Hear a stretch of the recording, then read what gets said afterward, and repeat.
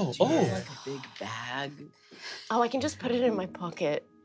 This is You want to go on an adventure in like an unexplored world? girly. Go on an adventure. In an unexplored world? Wait, what's your energy? Hey, girly. I'm walking towards it. Come on. This is me to my dog Please, every she- morning. Please, please, please. The energy is horrifying. I'm She- holding please. Kristen's waist, being like dragged. Um, she's yeah, she's gonna bolt from whatever Kristen is doing. Come on, She girl. goes into your pocket and disappears into the jacket of useful things. I'm never gonna say this to his face because I'm too cool, but I fucking value my friendship with Fabian.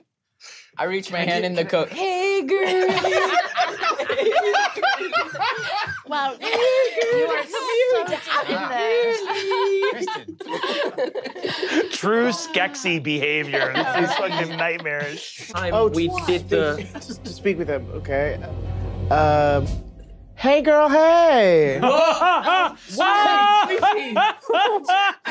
to talk to them, don't we? if, if that's not advantage, Oh. Minor illusioners spying in the window. Yusef, get out of here. No, you have, to get, you have to get away from Wait a minute. Hey, girly. This is the girls' bathroom, you weirdo. There's Yusef, get out of here. There's that fucking girly.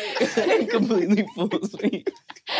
okay. Sorry, I have to go. I have to keep traffic moving. I'm the traffic coordinator.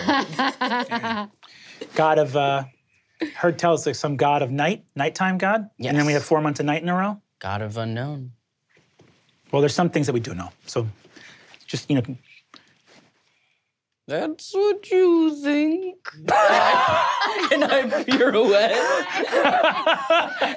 and, I give a very shaky thumbs up to Kristen. Uh, Mac and Donna will, for the rest of their lives, have disadvantage on any insight check against you for not knowing what that.